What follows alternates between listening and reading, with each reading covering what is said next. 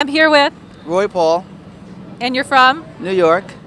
and who's running for president? Ah, there is Hillary Clinton, Bernie Sanders, Donald Trump, um, Martin O'Malley. Is he still in it?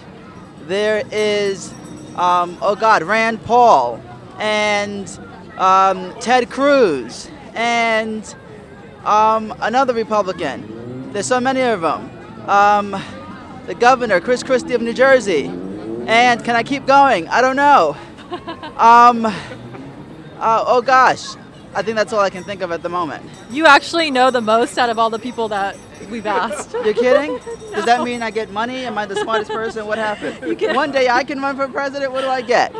you get pointers. I get you pointers. yeah. Okay. Well, I, I'll take whatever I can get. Thank you. Is that it? Yeah, thank Who- you. What is Thank this you very much. for?